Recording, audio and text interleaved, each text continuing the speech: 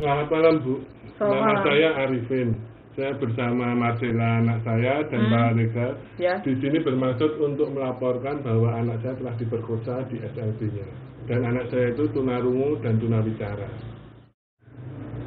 Bisa dijelaskan eh, bagaimana peristiwa pemerkosaan itu terjadi?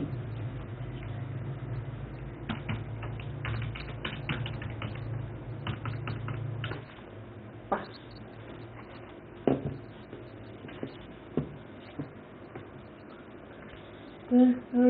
ini Pak Adi. Pak Adi.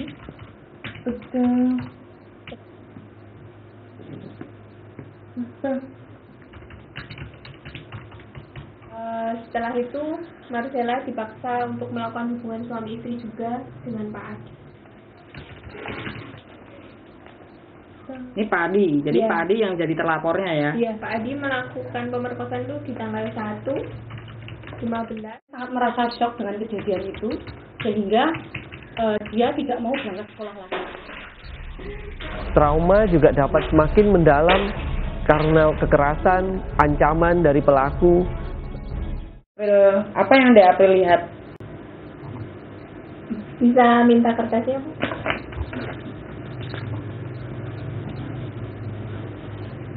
Ini dia bilang di sekolahnya Pendampingan dapat meliputi pendampingan hukum, pendampingan komunikasi bagi difabel yang mengalami hambatan komunikasi, maupun pendampingan yang spesifik dibutuhkan atas dasar disabilitasnya. April bilang waktu itu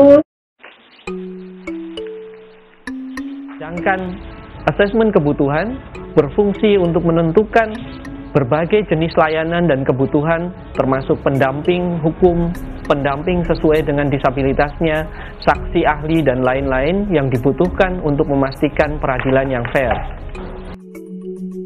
Keberatan yang mulia. Karena saksi korban dapat membaca dan menulis, maka kami keberatan dengan adanya penerjemah. Keberatan ditolak. Ini sesuai dengan KUHAP dalam pasal 178 ayat 1 dan ayat 2. Demikian saudara penasihat hukum.